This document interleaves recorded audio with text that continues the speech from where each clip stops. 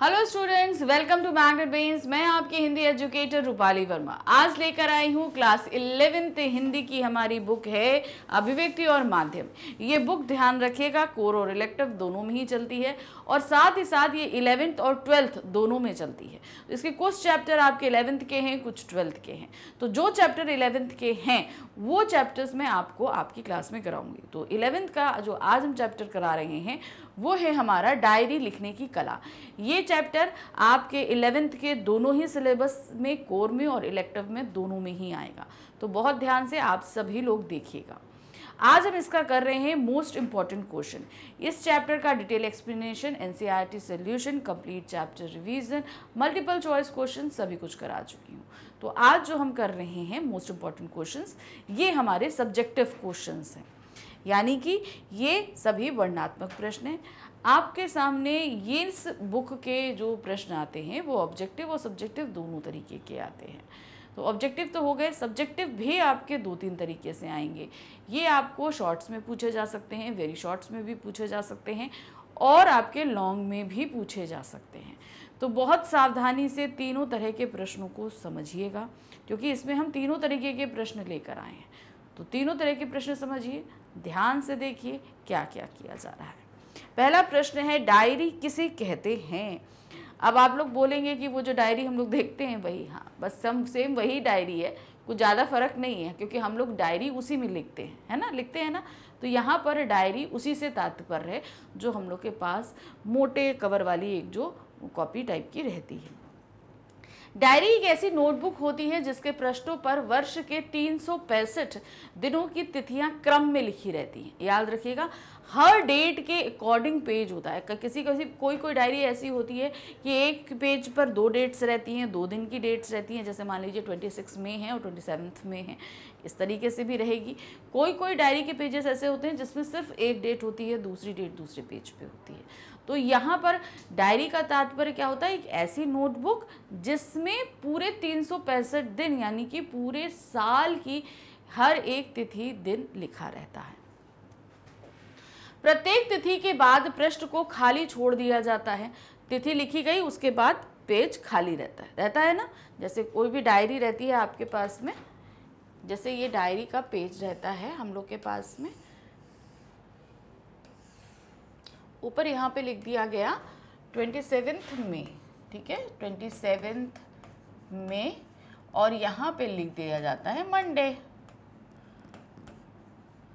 और उसके बाद ये पूरी डायरी यहाँ पे ब्लैंक रहती है। अब ये ब्लैंक क्यों रहती है? क्योंकि बहुत सारे लोगों को डे वाइज बहुत सारी चीज़ों को लिखना होता है। इस वजह से इसको लिख दिया जाता है। जैसे बहुत सारे लोगों को डायरी लिखने का शौक़ होता है, अपने पूरे दिन के जो क्रियाकलाप रहते हैं, उनको लिखने की आदत होती है। तो वो इस तरीके की ट्वेंटी सेवन्थ में मंडे को उनके साथ जो कुछ भी हुआ, जैसा भी हुआ, ये हुआ कहाँ गए किन किन लोगों से मुलाकात करी, क्या खर्चे किए, वो सभी चीज़ें वो इस पेज पर मैंशन कर देते हैं। तो इस तरीके से होता है। सारा पूरा पेज खाली छोड़ दिया जाता है। डायरी को दैनिक नंदिनी रोज ना, आ, क्या है? रोजना मचा क्या है? रोज ना मचा। रोज निशी वासरी वासरिया भी कहते हैं। वासरिया वार का मतलब तो जानते हैं दिन हो गया। तो इन सारे नामों से भी डाला जा, जाना जाता है डायरी को। यह मोटे गत्ते की सुंदर जल्द की सजी हुई होती है। अब मोटा गत्ता होता है जो उसका कवर होता है, कैसा होता है? मोटी सी होती है और उसके ऊपर कवर लगा होता है। कुछ डायरियाँ प्लास्टिक के रंग बिरंगे कवरों से सजाई जाती हैं। डायरी विभिन्न आकारों में मिलती हैं। इनमें टेबल डायरी, पुस्तक, पुस्तकाकार डायरी, पॉकेट डायरी ये प्रमुख हैं। नए वर्ष के आगमन के साथ ही विभिन्न आकार प्रकार की डायरियाँ भी बाज़ार में मिलने लगती हैं। डायरी लिखने वाले हर व्यक्ति की यही इच्छा होती है कि नए वर्ष के पहले दिन उसके पास नई डायरी हो। तो समझ में आया क्या? डायरी क्या होती है? किन किन नामों से जानी जाती है? और क्यों लोग इसे रखना ज़्यादा पसंद करते हैं? दूसरा प्रश्न है, डायरी का उपयोग। आखिर डायरी का उपयोग भाई सब अगर चाहते हैं कि हमारे पास नए वर्ष के पहले दिन डायरी हो तो आखिर वो डायरी चाहते क्यों? क्या कारण है? क्या करेंगे उसका? यानी कि उसका उपयोग क्या है? डायरी के प्रत्येक पृष्ठ पर एक तिथि होती है तथा शेष पृष्ठ खाली होता है। होता है ना, जो सभी मैंने आपको बताया। इस खाली पृष्ठ का उपयोग उस तिथि विशेष से संबंधित सूचनाओं अथवा अपनी निजी बातों को लिखने के लिए किया जाता है। यानी कि जिस भी तिथि का वो पेज है, उस पेज के नीचे उस दिन से जुड़ी सारी घटनाओं को, अपनी व्यक्तिगत बातों को, अपनी दिनचर्या को लिखा जाता किसी विशेष तिथि पर यदि हमें कोई विशेष कार्य करना है अथवा कहीं जाना है तो उससे संबंधित सूचना पहले से ही उस तिथि वाले पृष्ठ पर लिख दी जाती है। अब जैसे आ, आ, मैंने जैसे भी 27 मई की बात बताई फिर मैंने बोला कि नहीं ऐसा है कि जो है 15 जून को मुझे एक पार्टी में जाना है। अब मेरे पास इनविटेशन है पंद्रह जून का तो अब मैं क्या खोल, करूँगी? आज सत्ताईस में ही है, मैं पंद्रह जून का पेज खोलूँगी और उसमें मेंशन कर दूँगी कि इस दिन, इस आज के दिन मुझे इनके यहाँ और इतने बजे पार्टी में जाना है। दिन तो ऊपर लिखा ही हुआ है तो दिन लिखने की ज़रूरत नहीं है। किसके यहाँ जाना है? कौन सा ओकेज़न पर है पार्टी? और जो है, वहाँ किस टाइम पे जाना है? ये सारा उस पेज पर मेंशन कर देंगे। इससे उक्त तिथि के आने पर हमें किए जाने वाले कार्य याद आ जाते हैं। हमारे दिन प्रतिदिन के अनुभवों को भी हम उस तिथि के पृष्ठ पर लिखकर अपने अनुभवों को सुरक्षित कर सकते हैं। यानी कि पूरा दिन हमारे साथ जो जो चीज़ें घटित हुई हैं, हमने कैसा फील किया है, ये सारी चीज़ें भी हम उस पृष्ठ पर लिख सकते हैं। कुछ लोग अपने दैनिक आय व्यय का विवरण, धोबी, दूध का हिसाब, बच्चों की शरारतों आदि को भी डायरी में लिखते हैं। बहुत सारे लोगों की आदत है, जैसे बहुत सारे लोगों के यहाँ दूध आता है। डेली बेसिस पे डायरी आती है वो सॉरी धोबी है तो वो एक डायरी बना लेते हैं और पर डे उस डायरी में आज इतना दूध आया, वो मेंशन कर दिया, फिर उसके बाद आज धोबी इतने कपड़े ले गया और मंथ एंड में उनका हिसाब कर देते हैं।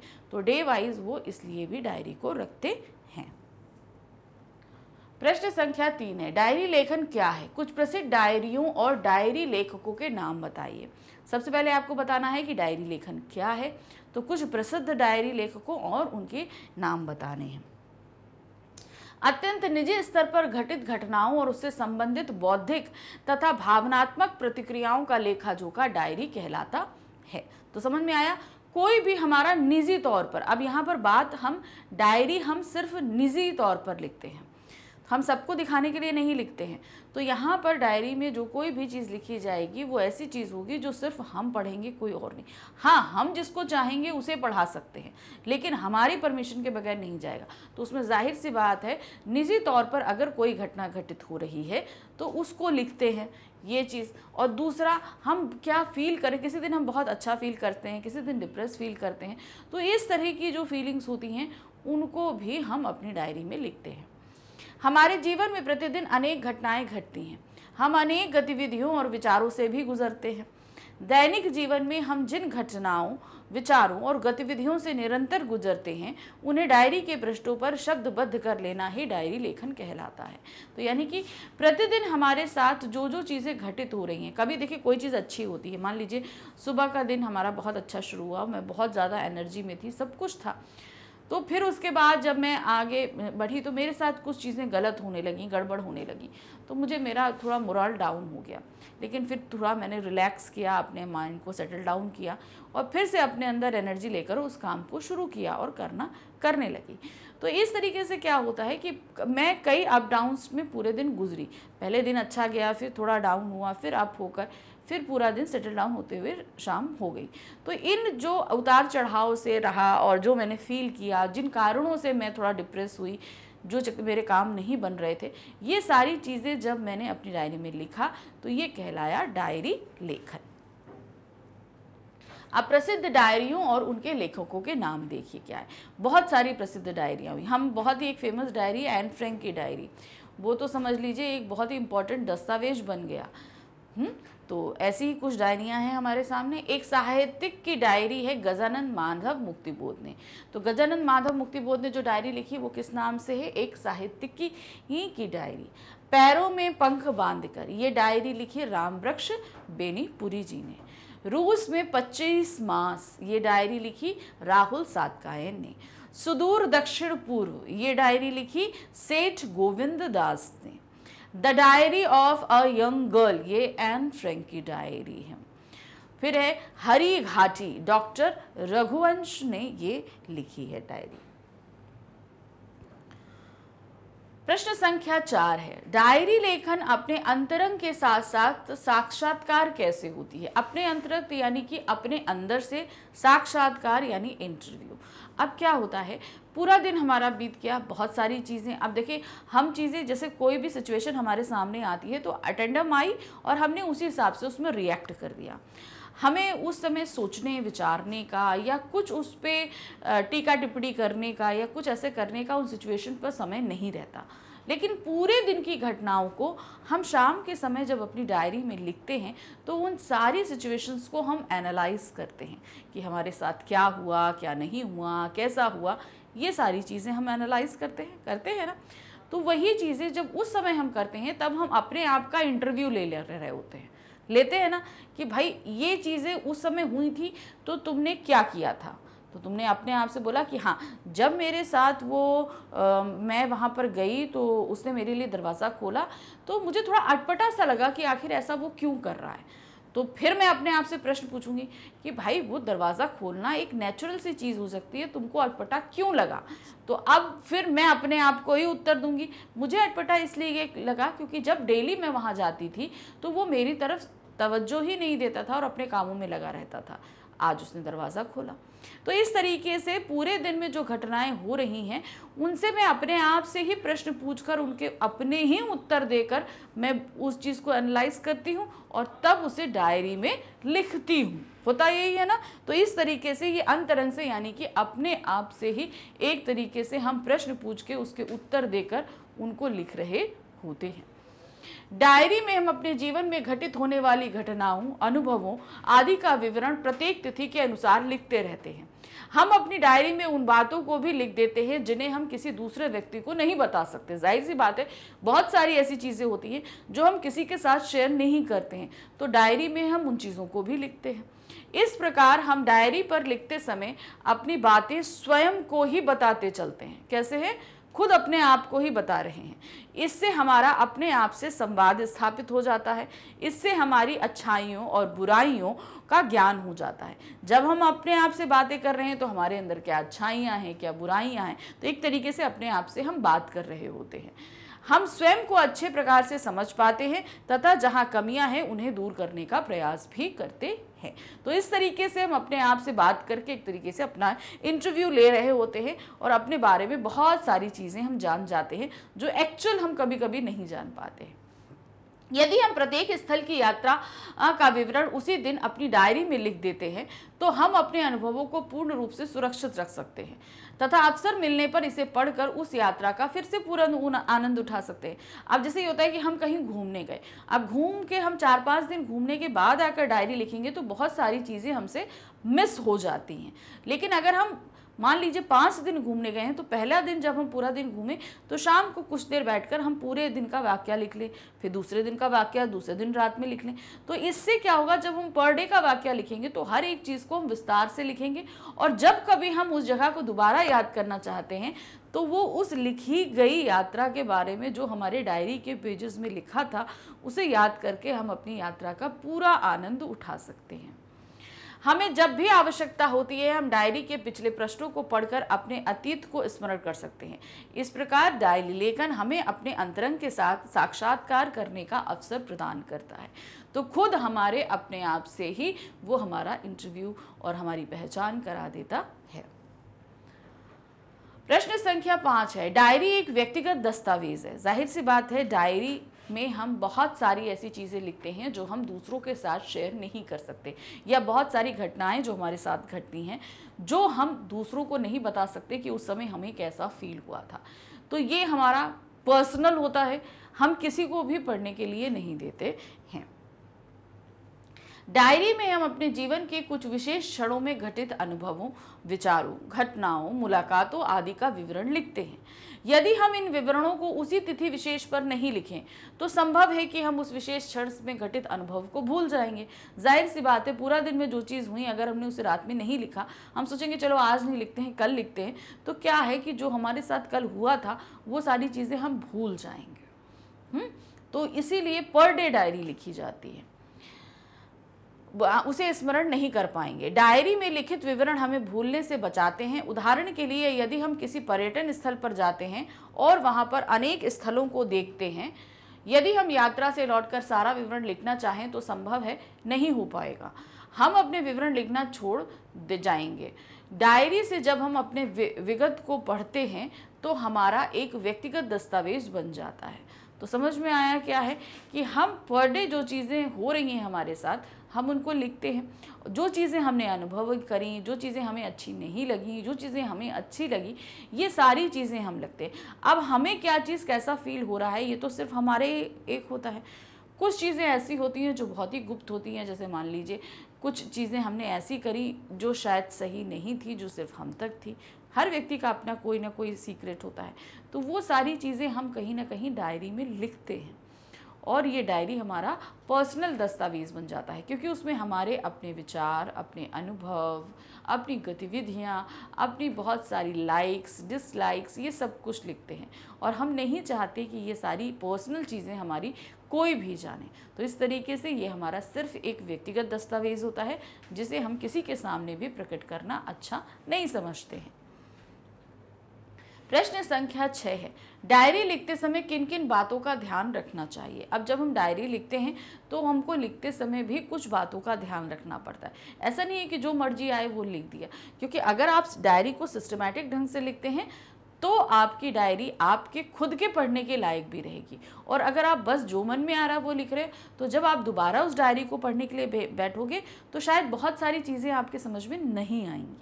तो इनको लिखने में कुछ सावधानियों को बरतना पड़ता है।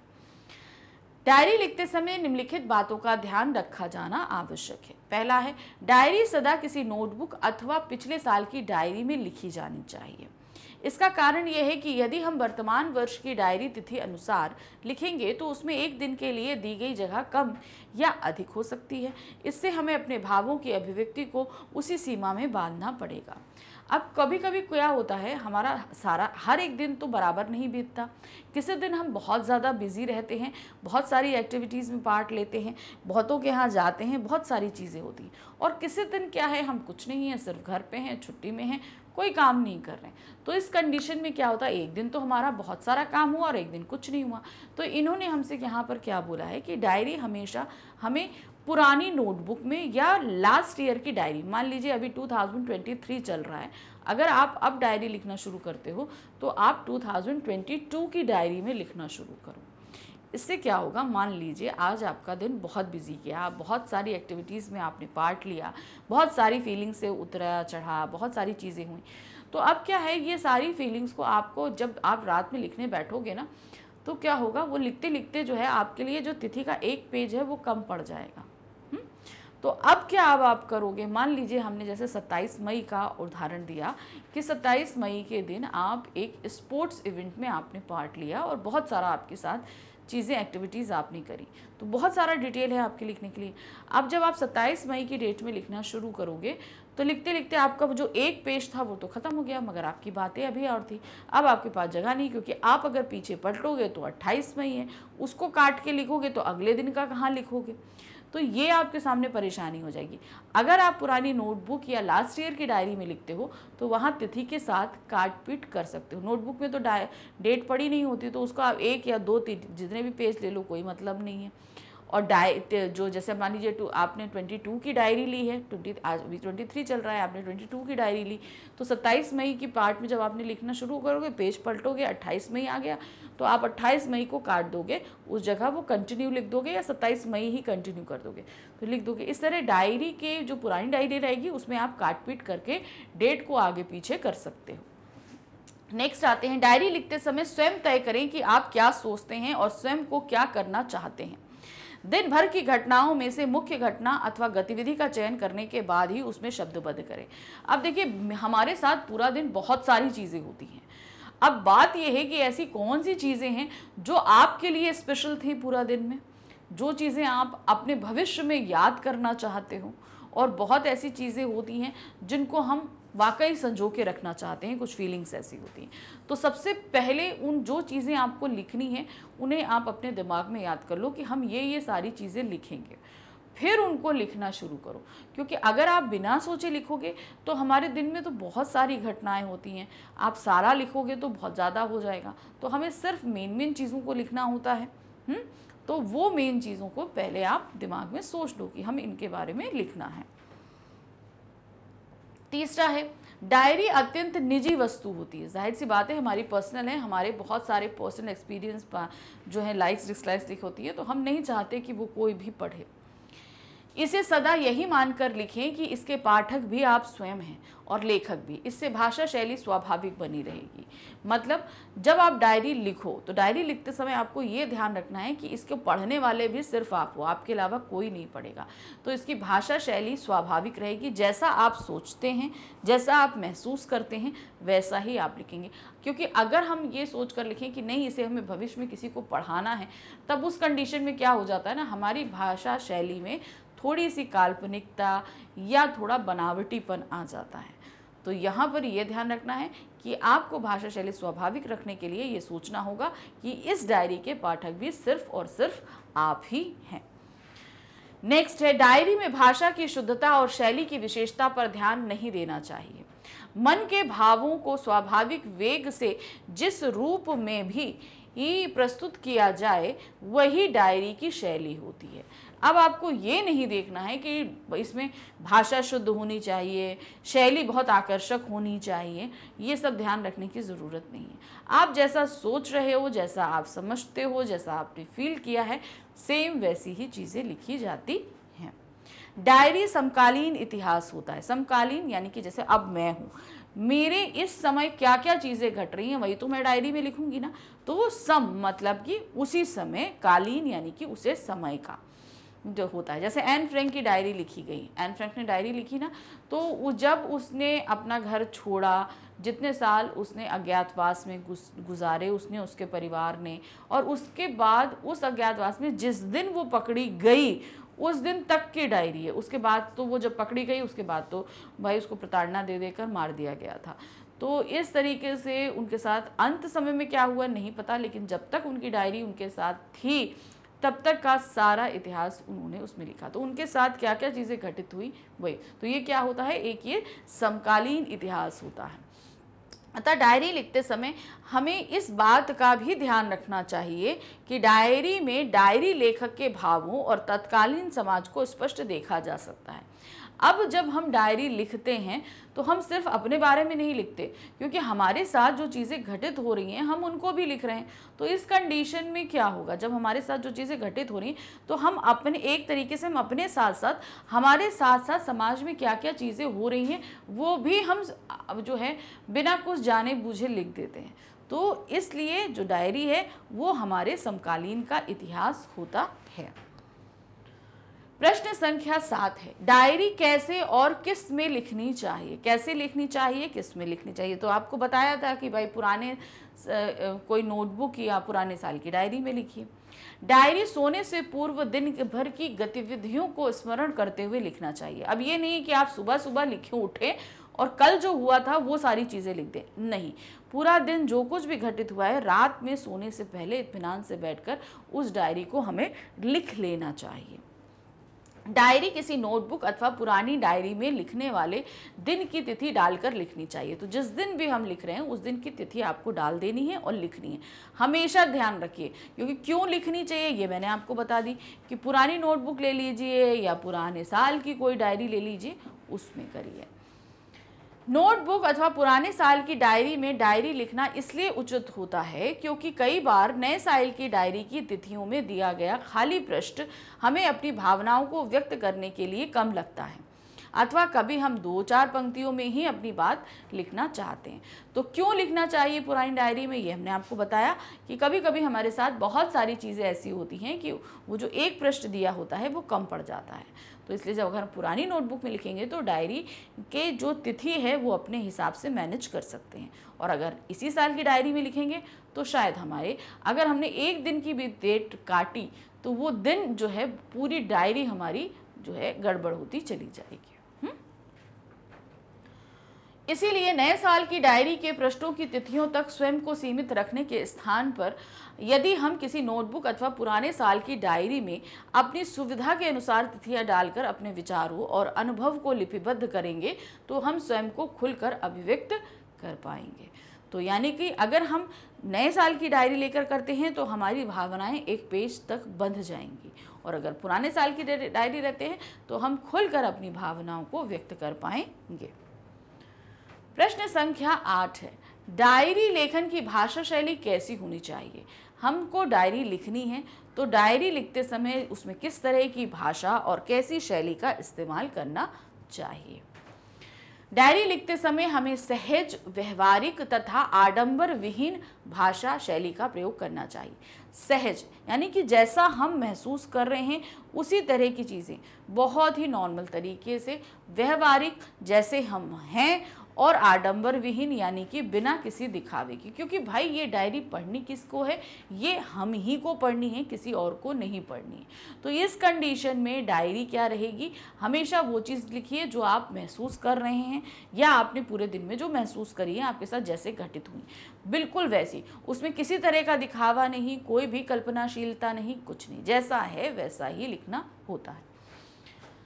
मानव एवं साहित्यिक भाषा शैली के प्रयोग के मुँह से हम डायरी में अपनी भावनाओं को सहज रूप से व्यक्त नहीं कर सकते। डायरी में भावों को सर्वत्र सहजता से प्रकट होने का अवसर मिलना चाहिए। अब यानी कि मान लीजिए कि अगर हम ये सोचें कि भाई हम साहित्य का कोई पाठ लिख रहे हैं तो ज़ाहिर सी बात है, उसमें भाषा में थोड़ा बनावटीपन स्वाभाविक रूप से आ जाएगा। लेकिन अगर आप ये ध्यान करके लिखोगे कि ये डायरी हमारा पर्सनल दस्तावेज़ है और सिर्फ़ हमारे द्वारा ही पढ़ा जाएगा तो इस कंडीशन में हम जो है, इस आडंबरहीनता, जो आडंबर है, इससे बच जाएँगे। भाषा शैली में जहाँ हम बनावट लाने की कोशिश करेंगे, हम उससे बच जाएँगे। डायरी में भावों को सर्वत्र सहजता से प्रकट होने का अवसर मिलना चाहिए। मन में उत्पन्न भाव अत्यंत सरलता से शब्दों में ढलते जाने चाहिए। आपके मन में जो भी फीलिंग्स है, उन्हें सहज शब्दों में, जो आप फील कर रहे हैं, जैसा फील कर रहे हैं, उसे वैसे ही शब्दों में लिख दीजिए। डायरी लेखन प्रत्येक अच्छी बुरी बात को सहज रूप से लिखना जाना चाहिए। तो जब हम डायरी लिखें तो जो हमारे साथ अच्छा हुआ है, जो बुरा हुआ है, या हमने अच्छा किया है, या हमने बुरा किया, जैसा भी किया है, हमें वो वैसा का वैसा ही लिखना चाहिए। डायरी में आप अपनी बात जैसे चाहें और जिस ढंग से चाहें लिख सकते हैं। यही डायरी की भाषा शैली की विशेषता है। डायरी की भाषा शैली समस्त बंधनों से मुक्त होती है। भाई, शैली बहुत होती है, वर्णात्मक होती है, विवरणात्मक होती है, व्यंग्यात्मक होती है, विचारात्मक होती है। तो इन सभी शैलियों से हमें लिखना है। अलग मतलब इस जब हम डायरी लिखते हैं तो ये किसी भी शैली में बंधी नहीं होती।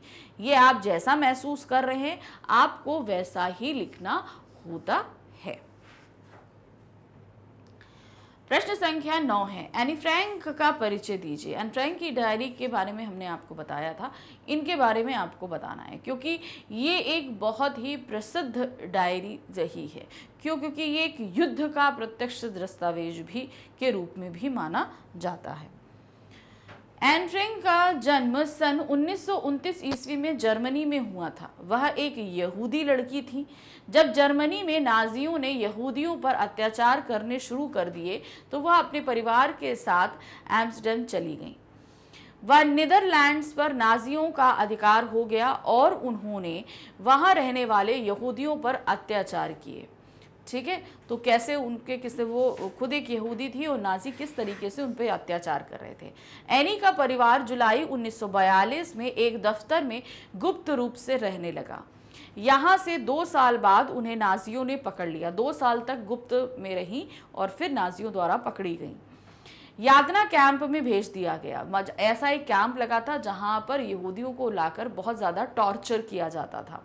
एनी को उनके तेरहवें जन्मदिन पर एक डायरी मिली थी, जिसमें उसने जून सन 1942 से अगस्त 1944 तक की घटनाओं का वर्णन किया था। दो साल तक का पूरा घटना का विवरण उनकी डायरी में इस दौरान था। सन 1945 ईस्वी में एनी की मृत्यु हो गई थी। द्वितीय विश्व युद्ध की समाप्ति के बाद उसके पिता ने एम्स्टरडैम जाकर एनी की डायरी तलाश की और इसे प्रकाशित करवाया। मूल डायरी डच भाषा में लिखी गई थी। यानी कि जो एनी ने लिखी थी, वो क्या थी? वो डच भाषा में लिखी गई डायरी थी। सन उन्नीस सौ सैंतालीस ईस्वी में अंग्रेज़ी में the diary of a young girl के नाम से प्रकाशित हुई। यह बीसवीं सदी की सबसे अधिक पढ़ी जाने वाली पुस्तकों में से एक मानी जाती है। तो एनी की मृत्यु के बाद उनके पिताजी ने डायरी खोजी, उसे प्रकाशित करवाया। चूँकि वो डच भाषा में थी, फिर उसे ट्रांसलेट करके इंग्लिश में छपवाया गया सन उन्नीस सौ सैंतालीस में। तो किसके नाम से छपाया गया? The diary of a young के नाम से। और वो सबसे प्रसिद्ध एक पुस्तक रही जो लोगों द्वारा पढ़ी गई, क्योंकि उसमें ना, किस तरीके से नाजियों द्वारा यहूदियों पे अत्याचार किए गए थे और किस किस परेशानियों से वो अपने दिन को गुजार रहे थे, ये सारी बातें उसमें बहुत ही अच्छे से लिखी गई थी। तो एक तरीके से ये युद्ध का एक प्रत्यक्ष प्रमाण के रूप में भी रखा गया है। प्रश्न संख्या दस है डायरी लेखन क्या है? अब हमने डायरी जान ली, क्या है डायरी लिखते समय? क्या चीज़ें ध्यान रखनी चाहिए? तो ये भी बताइए कि भाई डायरी लेखन क्या होता है? व्यक्ति दिन भर जिन घटनाओं, गतिविधियों और विचारों से गुजरता है, उन्हें ही डायरी के पृष्ठों पर शब्द व्रत करना डायरी लेखन कहलाता है। यानी कि पूरा दिन हमने जो सारी चीज़ें महसूस करी हैं, जो हमारी भावनाएँ रही हैं, जो हमारी गतिविधियाँ रही हैं, उन सभी में जो अहम चीज़ें रहीं, उनको जब हम डायरी में लिखते हैं, शब्दबद्ध करते हैं तो वो डायरी लेखन कहलाता प्रश्न संख्या 11 है, डायरी हमें हमारे संकल्प की याद किस तरह दिलाती है? हमें हमारे संकल्प की याद, यानी कि हमने अपने आप से अगर कोई वादा किया है तो वो किस तरीके से हमें इसकी याद दिला सकती है। क्योंकि जब हम कोई चीज़ सोचते हैं, विचारते हैं या कोई हमारे साथ चीज़ें हुई हैं जो हमने अपने लिए करने की कोशिश करी है तो वो सब चीज़ें हम डायरी में लिखते हैं और जब उन डायरी को हम पढ़ते हैं तो हमें वो सारी चीज़ें रिकॉल होती हैं और तब हम सोचते हैं कि नहीं, हमने अपने आप से ये वादा किया था तो हमें ये करना चाहिए। डायरी में आने वाले किसी खास दिन के लिए दायित्व और कार्य योजनाएँ लिखकर छोड़ दी जाएँ जाती हैं। जब हम डायरी पढ़ते हैं तो वो हमारे संकल्प की याद दिलाता है। तो कहने का मतलब है, जैसे हमने बोला कि आगे आने वाले इवेंट्स को भी हम, जैसे हमारे यहाँ कोई शादी में जाना है, आपको कोई पार्टी है, किसी का बर्थडे है, ये सारी चीज़ें आप डायरी के उस दिन के पेज पर नोट कर सकते हो कि इनका फला दिन पर बर्थडे है, इनको विश करना है, या मुझे इनकी पार्टी में जाना है। तो इस तरीके से क्या होता है? तो ये सारी चीज़ें तो हमने नोट कर ली। लेकिन ऐसे ही बहुत सारी चीज़ें होती हैं जो हम अपने आप से वादे करते हैं। कभी हमारे साथ कुछ ऐसा हुआ जो सही नहीं था तो अपने आप से वादा करेंगे, नहीं, हम इसको अचीव करके रहेंगे। तो वो संकल्प भी हम अपनी डायरी में कहीं ना कहीं मेंशन करते हैं। तो जब हम उसको पढ़ते हैं तो हमें अपने अपने आप से किए उस संकल्प के बारे में याद आ जाता है। प्रश्न संख्या बारह है। एनी फ्रैंक द्वारा लिखी डायरी का विषय क्या था? एनी ने जो डायरी लिखी, वो क्या था? वो जो है, किस तरीके से ये जो है, नाजियों द्वारा यहूदियों पर अत्याचार किया गया था और किस तरीके से उनसे बचकर, वो छिप कर वो लोगों ने दो साल गुजारे थे, ये सारी चीज़ें उस डायरी में लिखी गई थी। एन फ्रैंक द्वारा लिखी गई डायरी का विषय है 1942 से 44 के मध्य नाजियों द्वारा किया गया अत्याचार जो किस पे किया गया था? यहूदियों पर किया गया था क्योंकि वो खुद एक यहूदी थी। जब आ, क्या कहते हैं नाजियों ने वहाँ पर कब्ज़ा किया और तो सभी यहूदियों को चुन चुन कर जो है वो यातना ग्रह ले जाते थे और बहुत भयंकर यातनाएँ दिया करते थे। जो आप, अगर उनके बारे में आप पढ़ना चाहते हो तो आप गूगल पे जाके देख सकते हो किस तरीके से जो है टॉर्चर करने के नए नए तरीके उन लोगों ने निकाले थे। वो सारी चीज़ें वहाँ पर मेंशन आपको उस जगह पर मिलेंगी। और ऐसा था, मरने नहीं देते थे, लेकिन टॉर्चर बेनतहा करते थे तिल तिल करके मारते थे। प्रश्न संख्या तेरह है, हिंदी साहित्य में डायरी विधा के कुछ लेखकों के नाम बताने हैं। अब हिंदी साहित्य में बहुत सारे जो हैं, वो डायरी लेखक हुए हैं, उनके सिर्फ़ नाम बताने हैं। अभी हमने प्रसिद्ध नाम क्या कहते हैं, डायरियों को देखा, प्रसिद्ध डायरी के, देखा और उनके लेखकों को देखा। अब हमें सिर्फ़ डायरी लेखक जो डायरी विधा में लिखते हैं, उन लेखकों के नाम बताने हैं। हिंदी साहित्य में डायरी विधा के कुछ प्रमुख लेखक हैं मोहन राकेश, रमेश चंद्र शाह, रामरक्ष बेनीपुरी, सेठ गोविंद दास आदि। अब ये ध्यान रखिएगा, जो हमने पहले पढ़े थे, उसमें पूरे विश्व के नाम, क्योंकि उसमें एन, एनी का नाम भी आया था तो वो विश्व का ही प्रसिद्ध डायरी आ गई थी। लेकिन यहाँ सिर्फ़ हिंदी साहित्य में जो डायरी विधा में लेखक रहे हैं, उनके नामों को यहाँ मेंशन करना था। प्रश्न संख्या चौदह है। डायरी में किसका लेखा जोखा होता है? अब जो हम डायरी लिखते हैं, इसमें किसका लेखा? भाई, हमारे पूरे दिन की जो लेखा जोखा होता है, हमारी गतिविधियों का, हमारे विचारों का, हमारी भावनाओं का, उन सभी का लेखा जोखा हम लिखते हैं। डायरी में निजी स्तर पर घटित घटनाओं और तत्व संबंधी बौद्धिक भावनात्मक प्रतिक्रियाओं का लेखा जोखा रहता है। इन्हें हम स्वयं अपने लिए शब्दबद्ध करते हैं। तो हमारे साथ जो पूरा दिन घटित हो रही हैं चीज़ें, उनको किस तरीके से हमारे भावना तक उतार चढ़ाव हो रहे हैं, कोई चीज़ें हमें अच्छी लग रही हैं, कोई चीज़ें हमें अच्छी नहीं लग रही हैं, उन सभी का लेखा जोखा हम डायरी में लिखते हैं। जब हम शब्दबद्ध करते हैं, यानी कि हम उनको डायरी में लिख देते हैं। प्रश्न संख्या पंद्रह है। डायरी को अपना ही अंतरंग साक्षात्कार कहा गया है। इस साक्षात्कार की क्या विशेषता होती है? देखिए, डायरी को हम अपने साथ किए गए अंतरंग साक्षात्कार समझते हैं। ये क्वेश्चन हमने अभी आपको पहले समझा दिया, लेकिन ये क्वेश्चन कुछ और पूछ रहा है। उसने क्या पूछा? इस साक्षात्कार की क्या विशेषता होती है? जब हम अपने आप से ही परिचित होते हैं, हम अपने आप से ही बहुत सारे प्रश्नों को पूछते हैं तो फिर क्या इसमें विशेष हो जाता है? ये आपको बताना है। डायरी को दिए गए अंतरंग साक्षात्कार की विशेषता है कि इसमें हम हर जगह की वर्जनाओं से मुक्त रहते हैं। यानी कि, देखिए, हम कहीं पर भी रहें, हम स्कूल में रहें, घर में रहें, समाज में रहें, दोस्तों के पास रहें, अपनी कुछ ना कुछ बंधन होते हैं।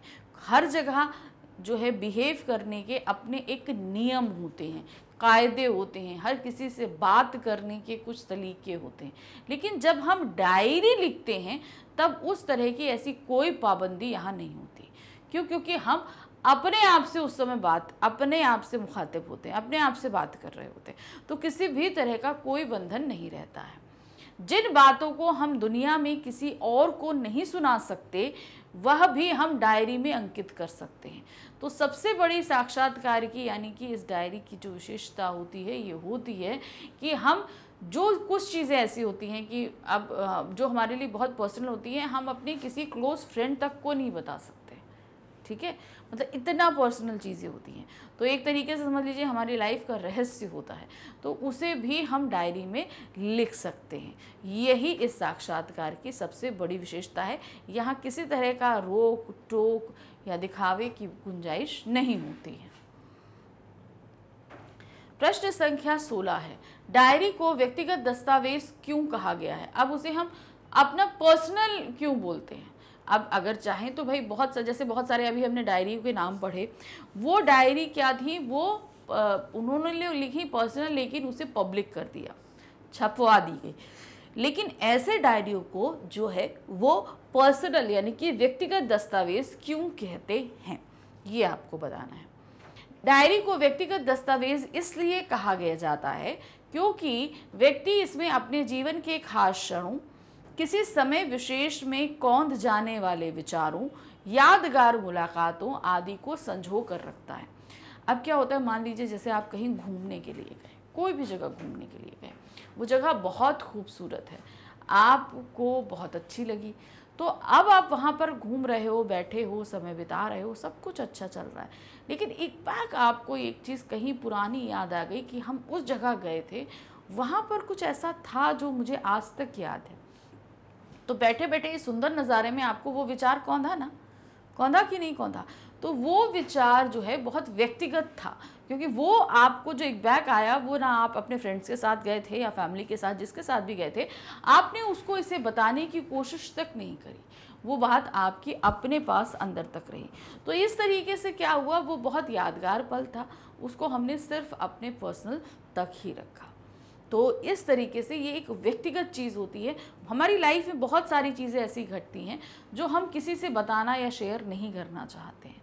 तो वो भी हम अपनी सब डायरी में लिख लेते हैं। तो इस तरीके से वो क्या हो गया, वो सिर्फ़ हमारे द्वारा पढ़ी जाएगी, किसी और के द्वारा नहीं पढ़ी जाएगी। प्रश्न संख्या सत्रह है। डायरी हमें भूलने से बचाती है कैसे? सही बात है। अब मान लीजिए आने वाले समय में कोई इवेंट होने वाला है, कुछ है तो हम उसे अगर वहाँ पर मेंशन कर दें, मान लीजिए कि आज हमने 27 मई है और ये इवेंट जो होने वाला है, ये होगा आपका जो है पाँच जून को या छः जून को तो आप क्या करेंगे, अपनी डायरी में जाकर छः जून को उस इवेंट के बारे में मेंशन कर देंगे कि छः जून को ये इवेंट होने वाला है, इस जगह पर है और इस समय पर है। तो इस तरीके से वो दिन जब आपका आएगा तो आपको याद रहेगा कि हमको यहाँ पर जाना है, ये करना है तो इस तरीके से हम कोई चीज़ भूलेंगे नहीं। और ऐसे ही बहुत से हमारे हमारे साथ पूरा दिन में बहुत सारी चीज़ें हुई। अब हम उसको हम डायरी में लिख देते हैं। तो कभी हम उसको याद करना चाहें तो हमारे वो खूबसूरत पल हम याद भी कर सकते हैं। होता है ना? तो इस तरीके से वो पल हम हमेशा याद कर सकते हैं। तो आने वाली चीज़ों को जहाँ हम देख सकते हैं, वहीं पुरानी लिखी गई अच्छे मोमेंट्स को याद करके भी हम उन्हें जी सकते हैं। डायरी के माध्यम से हम अपना खुद तैयार किया हुआ पाठ लिखते हैं। और जो कुछ घटित हुआ है, उसकी कहानी इस तरह संजो कर रखते हैं कि जो आने वाले दिनों में हमें उन लम्हों को दोबारा जीने का मौका देता है। इससे हम हम गहरे आशय वाली घटनाओं और वैचारिक उत्तेजनाओं को भूल नहीं पाते हैं। तो जब हमने सब कुछ, सारी चीज़ें जो हमारे साथ घटित हो रही हैं, हमने उसे डायरी में लिख दिया, चाहे अच्छी हूँ, चाहे बुरी हूँ फिर उसके बाद अगर हम किसी दिन उसको पढ़ने के लिए बैठते हैं तो वो सारी चीज़ें हमें याद आ जाती हैं। याद आ जाती हैं ना? तो इस तरीके से हमारे साथ पास्ट में जो चीज़ें हुई हैं, उन्हें हम भूल नहीं पाते और भविष्य में होने वाली चीज़ों को भी हम उसमें लिख लेते हैं, ताकि उन इवेंट्स या उन चीज़ों को, जो कोई भी ख़ास दिन आने वाला है, उनको भी हम नहीं भूल पाते। इस तरह भविष्य और भूत दोनों ही चीज़ों को हम भूल नहीं पाते हैं। प्रश्न संख्या अट्ठारह है। खुद से दोस्ती गांठने के लिए व्यक्ति को क्या करना चाहिए? खुद से दोस्ती गांठने के लिए। अब अगर आप कोई दोस्त बनाते हो तो क्या है? उससे आप डेली मिलते हो, बात करते हो, टाइम एक्सपेंड करते हो तो इस तरीके से आप उस व्यक्ति को जान पाते हो और फिर आपकी दोस्ती अच्छी बन जाती है। तो उसी तरीके से अगर आपको अपने आप को जानना हो तो क्या करोगे? तो आप तो बोलोगे, भाई, हम तो पूरा दिन अपने साथ ही रहते हैं तो कैसे? नहीं। अगर आपको अपने आप को जानना है तो उसका बेस्ट तरीका है, आप डायरी लिखना शुरू करो। क्या होगा? पूरा दिन में हमारे साथ बहुत सारी चीज़ें घटित होती हैं, बहुत कुछ होता है। हम एक बैक रिएक्ट कर देते हैं, उस बारे में सोचते नहीं, समझते नहीं। लेकिन जब पूरा दिन हो जाने के बाद हम शाम को उस डायरी को लिखने के लिए बैठते हैं तब क्या होता है? तब हम हर एक उस चीज़ को याद करते हैं। याद किया? याद करने के बाद हम जब उसको लिखते हैं तो हम फिर ये देखते हैं कि नहीं हमको ऐसा नहीं ऐसा करना चाहिए था। बहुत सारी हम गलतियाँ भी करते हैं बहुत सारी अच्छाइयाँ भी करते हैं। फिर जब हम डायरी लिखते हैं तब अपने अंदर की उन गलतियों को समझ पाते हैं कि, कि हमने क्या गलती करी थी क्या नहीं करी थी। तो इस तरीके से हम खुद को जान पाते हैं। खुद से दोस्ती गांटने के लिए व्यक्ति को डायरी लिखना शुरू कर देना चाहिए। तो समझ में आया ना क्या जो ये चीज़ तो सिर्फ़ एक लाइन में है, लेकिन एक्चुअल में हमें यही करना चाहिए। तो हम जब हमारे साथ क्या हो रहा है, क्या नहीं हो रहा है इस सारी चीज़ों को हम एनालाइज करते हैं, रात में जब डायरी लिखते हैं तो इस तरीके से अपने आप को एक थे हम जानने लगते हैं और हमारी अपने आप से दोस्ती हो जाती है। प्रश्न संख्या 19 है। डायरी लेखन में हम अपने काम के महत्व के प्रति अधिक आश्वस्त कब हो सकते हैं? क्वेश्चन को समझिएगा क्या है? डायरी लेखन जब हम करते हैं, अपना ये जो काम है, इसके महत्व से हम कब ज़्यादा अच्छे से सेटिस्फाई हो सकते हैं? कि हाँ हमने जो किया, वो काम बहुत अच्छा था। ये काम हम कब करते हैं? डायरी व्यक्ति की निजी घटनाओं और भावनाओं का लेखा जोखा होने के साथ साथ उसके दौर का अक्ष भी होती है। यानी कि अब जैसे एन की हम डायरी पढ़ेंगे एन की तो क्या था? उसने अपने बारे में, अपने परिवार के लोगों के बारे में लिखा, लेकिन उसके ही, उसके अलावा ही नाजियाँ नाजी नाजियों द्वारा जो अत्याचार किए जा रहे थे वो, और किस तरीके से यहूदी अपनी जान बचाकर भाग रहे थे, ये गुप्त गुप्त आवास में रह रहे थे, ये सारी चीज़ें। यानी कि एनी ने जहाँ अपने बारे में, अपने परिवार के बारे में, उसी समय समाज में जो चीज़ें चल रही थी, उसके बारे में भी उसने बखूबी लिखा है। उसके द्वारा लिखे गए अनुभवों में में उसकी नज़र में देखा परखा गया समकालीन इतिहास किसी न किसी मात्रा में मौजूद रहता है।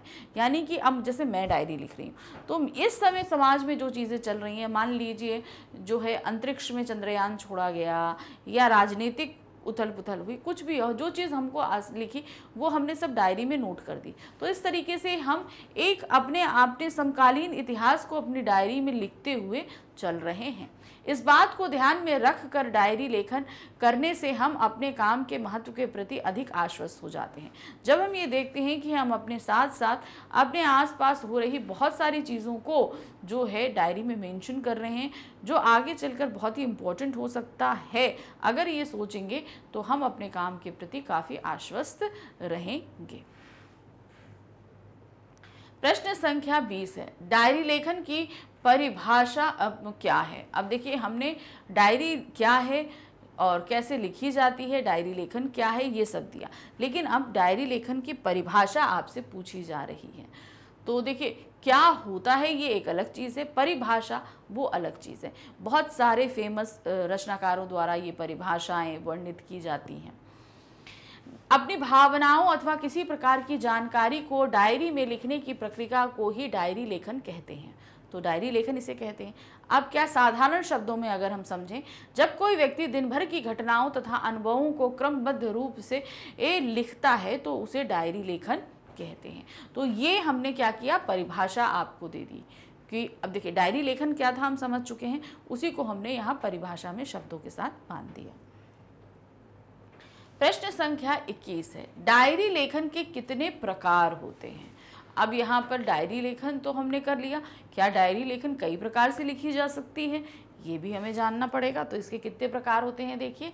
यहाँ पर डायरी लेखन के हमने चार प्रकार निकाले हैं।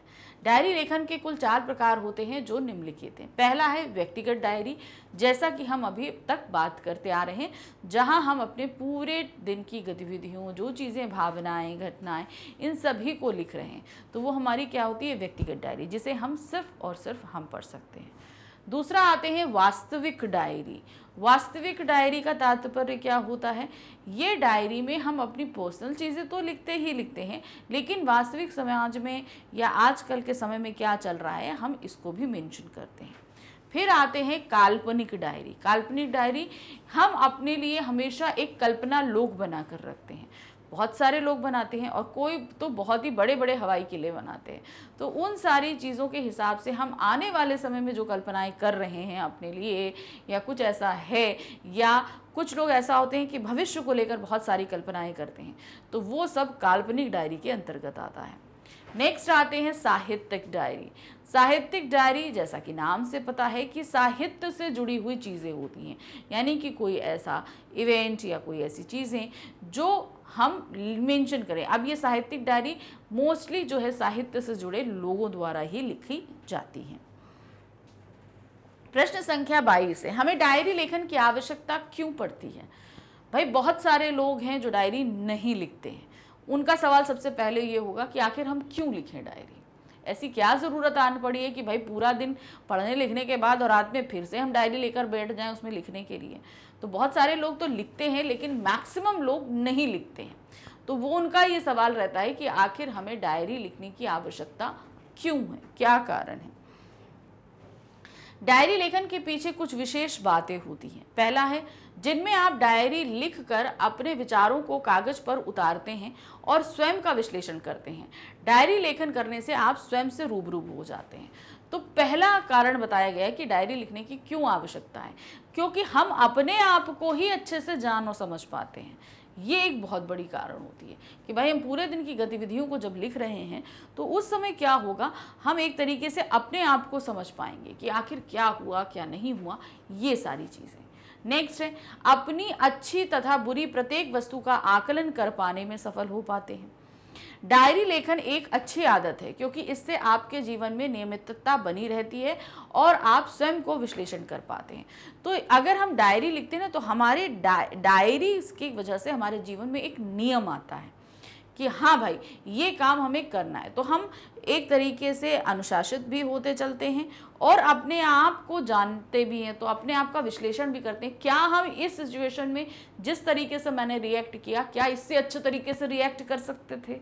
कभी कभी सिचुएशंस ऐसी आती है ना कि हम जैसे रिएक्ट किए तो शायद कभी कभी हम अपने आप से सेटिस्फाई नहीं हो पाते कि नहीं भाई, इसमें हम कुछ और अच्छी तरीके से रिएक्ट करते या उसकी हम बहुत अच्छे से मदद कर सकते थे या कुछ भी हो। तो हम एक तरीके से रात में बैठकर अपने आप का विश्लेषण करते हैं कि ये चीज़ हमने सही करी या गलत करी या इसको हम और अच्छा कर सकते थे। तो इस तरीके के विश्लेषण किए जा सकते हैं। डायरी लेखन करते समय आप स्वयं के आलोचक होते हैं, क्योंकि आपकी अपन, आपकी अच्छी तथा बुरी सभी बातों का परिणाम आपको ही मिलने वाला है। इसलिए आपको डायरी लेखन का कार्य नियमित तौर पर करते रहना चाहिए। तो यहाँ पर कहने का मतलब क्या है कि जब हम डायरी लिखते हैं, अब तो हम अपने खुद के आलोचक होते हैं। अब आलोचक का मतलब समझिए क्या है? जैसे आपका कोई फ्रेंड है, उसने कोई काम किया तो अगर आप एक सच्चे फ्रेंड हो तो अगर उसने गलत किया है तो आप उसके, उस रास्ते में जो चीज़ें गलत हैं, उसके बारे में आप अपने फ्रेंड को बताओगे। तो उसी तरीके से ये डायरी भी हमारी एक फ्रेंड होती है। जब शाम को हम उसके साथ बैठ कर लेखन कार्य कर रहे हैं तब हम अपना देखते कि नहीं, मेरे को मैंने ये गलत किया, मैं मुझे ये नहीं करना चाहिए था या मुझे नहीं कहना चाहिए था, मैं इससे अच्छा कर सकता था। तो अपनी आलोचना करते हैं, अपनी अच्छाई और बुराई के बारे में जानते हैं, समझते हैं और उसी तरीके से आगे चलकर हम रिएक्ट भी करते हैं और अपने अंदर की खामियों को निकाल कर अलग फेंकने की कोशिश करते हैं। प्रश्न संख्या तेईस है। डायरी लेखन के महत्व पर प्रकाश डालिए। अब इसकी इम्पोर्टेंस के बारे में बताना है कि आखिर ये इतना इम्पोर्टेंट क्यों है? क्यों हमें ऐसा कार्य करना चाहिए? डायरी लेखन के महत्व। डायरी लेखन का सबसे बड़ा महत्व यह है कि यह आपके अंदर की भावनाओं को पन्ने पर उतारने की कला को निखारता है। और साथ ही साथ डायरी लेखन से आप स्वयं को अच्छी प्रकार से समझ पाते हैं। तो समझ में आया क्या हुआ? कि हम अपनी जो भी अनुभव हैं, उनको हमने पन्ने पर उतारा। और सबके साथ साथ हम क्या है, हम अच्छी तरीके से अपने को समझ पाते हैं। हम में सिर्फ़ सभी लोग ये सोचते हैं कि भाई हम अपने आप को बहुत अच्छे से समझते हैं, पर ऐसा नहीं होता है। बहुत सारी ऐसी चीज़ें हैं हमारे साथ होती हैं, जहाँ पर हम समझ ही नहीं पाते कि हमने आखिर ऐसा क्यों किया या किस लिए किया। तो मेन यही चीज़ है कि ये जो डायरी है, वो हमें अपने आप को समझने का एक मौका देती है। इसलिए ये डायरी लिखना बहुत इंपॉर्टेंट होता है। नेक्स्ट आते हैं, अपने जीवन की अच्छाइयों, परेशानियों, घटनाओं तथा यादों को डायरी में लिखकर आप सुकून महसूस करते हैं। और साथ ही साथ आपके अंदर एक अच्छा लेखक बनने की कला पैदा होती है। तो अब क्या है, हमारे अंदर की जो चीज़ें हैं, जो कुछ भी हैं, चाहे अच्छाइयाँ हों, बुराइयाँ हों, जो भी भावनाएँ हैं, जो कुछ भी हैं, उन सभी को हम जब डायरी में लिखते हैं तो एक हमारे अंदर से सेटिस्फेक्शन आता है है ना? तो वो अंदर से सुकून मिलता है। और साथ ही हमारे लेखन कला का भी बहुत ही ज़्यादा जो है, सुधार होता है। आप में से बहुत सारे लोग बोलते हैं कि हम कैसे लिखें।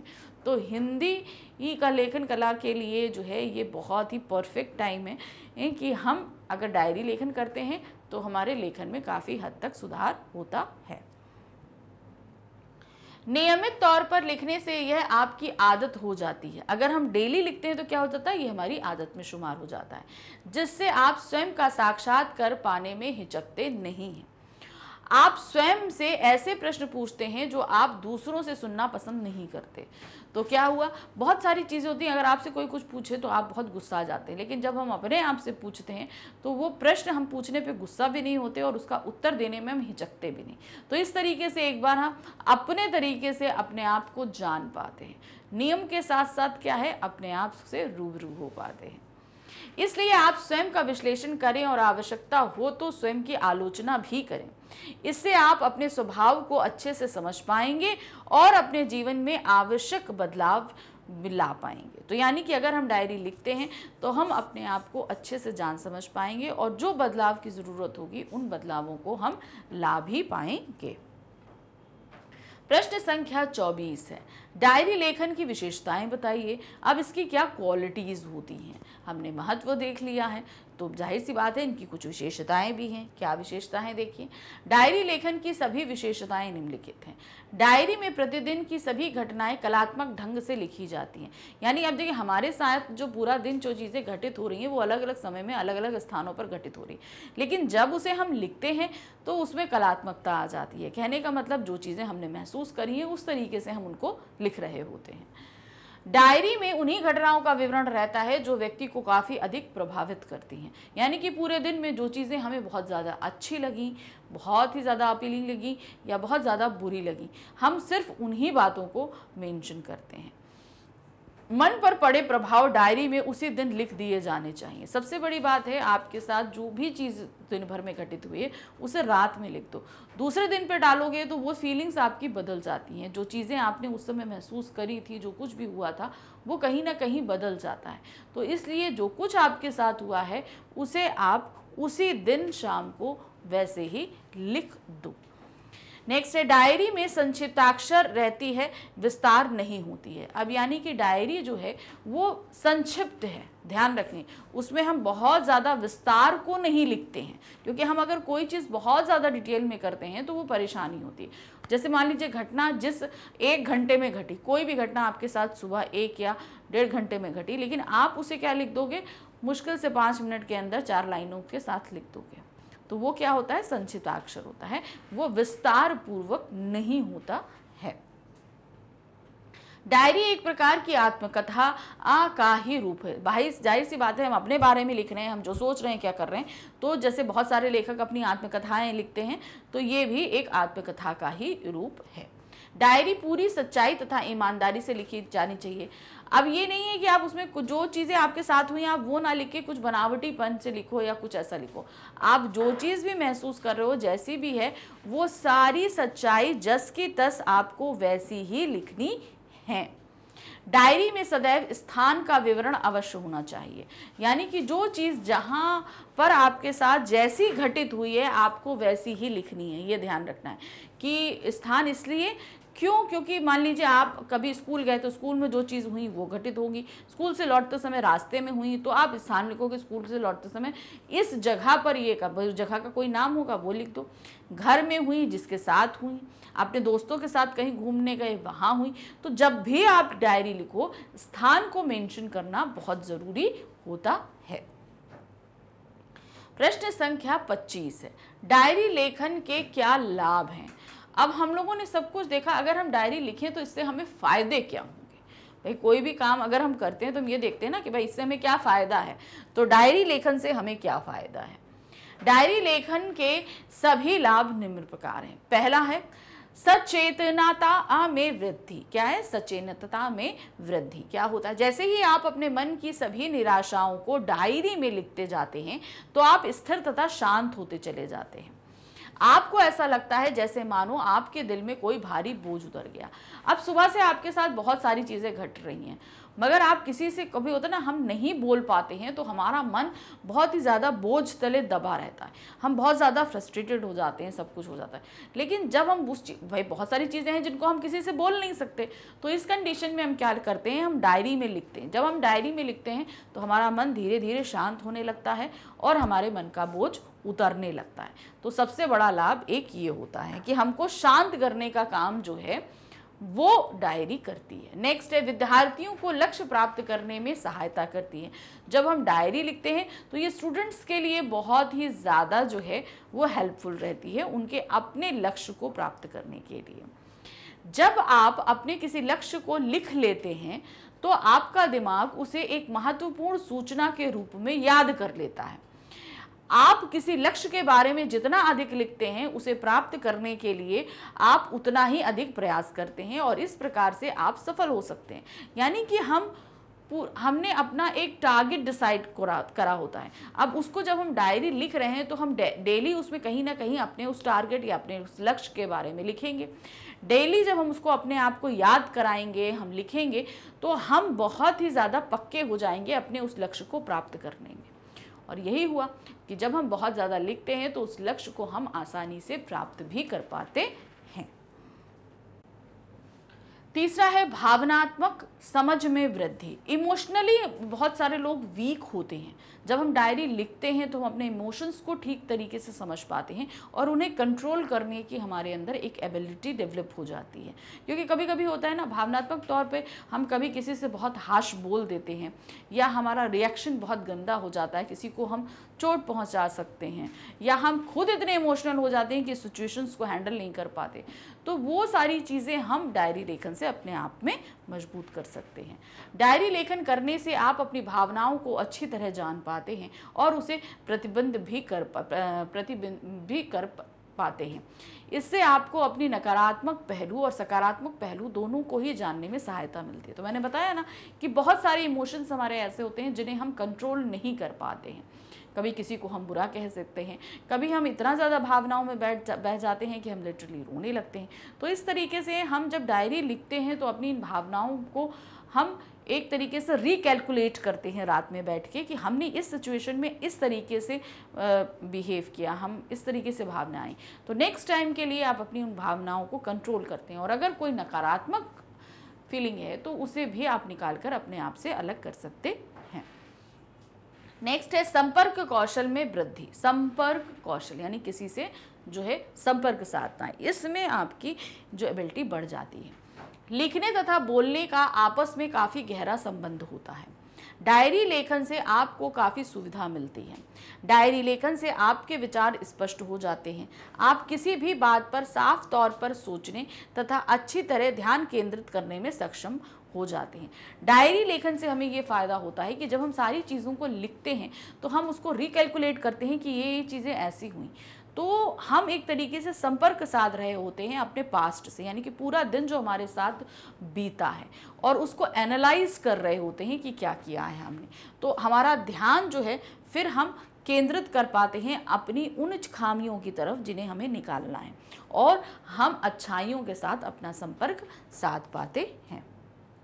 रचनात्मकता में वृद्धि। ठीक है? क्या है? कुछ लोग अपनी डायरी में अपने भविष्य के सपने संजो कर रखते हैं। कुछ व्यक्ति अपनी रोज़ाना की घटनाओं का वर्णन अपनी डायरी में करते हैं, जबकि कुछ व्यक्ति ऐसे भी होते हैं जो रचनात्मक लेख, यानी कि कविता, कहानी और गीत आदि लिखने के लिए अपनी डायरी का इस्तेमाल करते हैं। तो जैसे हमने डायरी का एक प्रकार पढ़ा था ना, साहित्यिक डायरी तो साहित्यिक डायरी जैसा कि हमने आपको बताया भी था कि ये हमारे लेखक और कवियों से संबंधित रहती है। तो यहाँ पर कुछ लोग डायरी जो लिखते हैं, उनमें बहुत सारी कविता, कहानियाँ, गीत भी लिखते हैं, जो उनके इमोशंस में बहुत सारी चीज़ें होती हैं, उनको मेंशन करते हैं।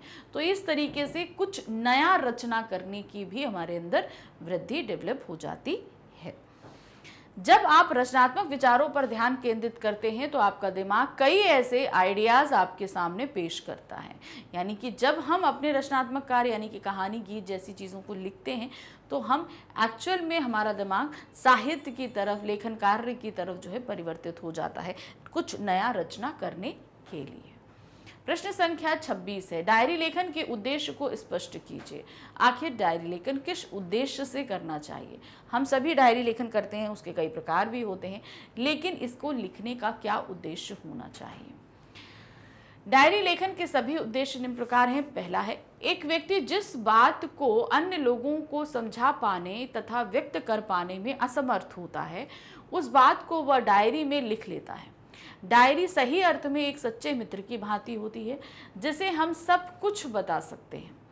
इसमें प्रतिदिन की विशेष घटनाओं को लिखकर हम उसे यादगार बना सकते हैं। तो पहला तो उद्देश्य ये होता है, अपने दिन को यादगार बनाना, अपने पास्ट को याद करना। दूसरा है, जिस प्रकार हम किसी तस्वीर को देखकर उस अवसर की याद ताज़ा कर लेते हैं ठीक उसी प्रकार डायरी के माध्यम से हम अतीत में लौट सकते हैं, तथा अपने खट्टे मीठे अनुभवों को पुनर्जीवित कर सकते हैं। यानी कि हमारे पास में, यानी कि अब मान लीजिए आज का दिन है, और आज से दस दिन पहले हम कहीं घूमने गए थे तो वो जगह बहुत अच्छी थी फ्रेंड्स के साथ, बहुत अच्छा समय बीता तो उसे आपने डायरी में मैंशन किया। आज आपको बहुत ऐसा लग रहा है कि नहीं, वो दिन बहुत अच्छा था तो आपने डायरी निकाला और उसे पढ़ना शुरू किया। तो वो पूरा जो दिन था, उसको आपने आज पूरा टाइम जी लिया। है ना? तो अपनी वो पुरानी अच्छी यादों को आपने पुनः जीवित कर लिया।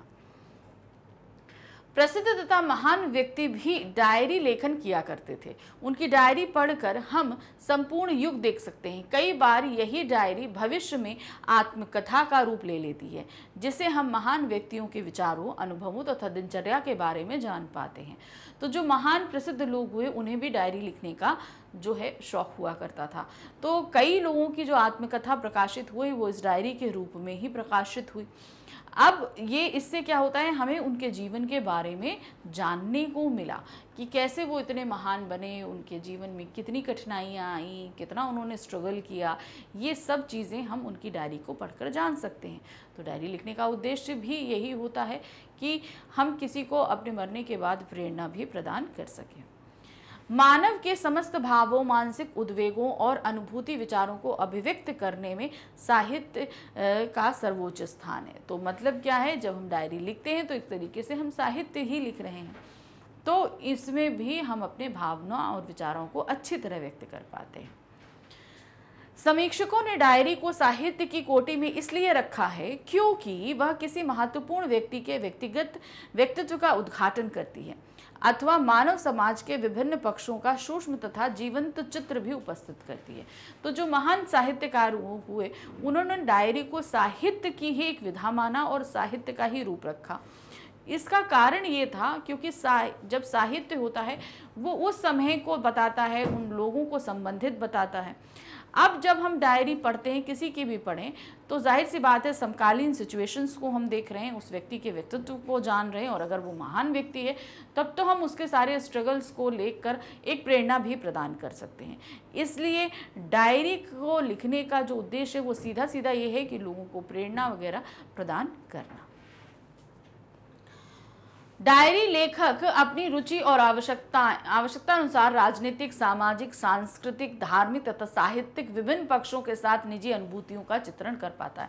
अब जैसे क्या होता है, हमारे साथ जो भी है, जैसे राजनीतिक तौर पर अगर हमें कोई अनुभव हुआ है तो उसे भी हम डायरी में लिखेंगे। सामाजिक तौर पर हुआ है, समाज में कोई चीज़ घटित हुई है, उसको लिखेंगे। ए, और सांस्कृतिक तौर पर मतलब हमारा जिस भी फ़ील्ड से जो भी अनुभव हुआ, हम लिखेंगे।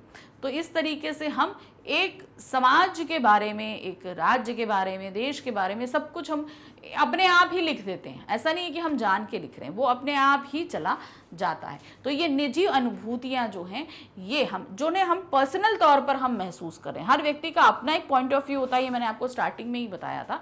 तो डायरी में भी यही चीज़ होती है कि हम अपने निजी अनु, निज, निजी अनुभवों को लिख रहे हैं। हमारी नज़रों से हमारे पॉइंट ऑफ़ व्यू से ये सारी समस्याएँ क्या क्या रूप धारण करती हैं वो हमने अपनी डायरी में मेंशन किया होता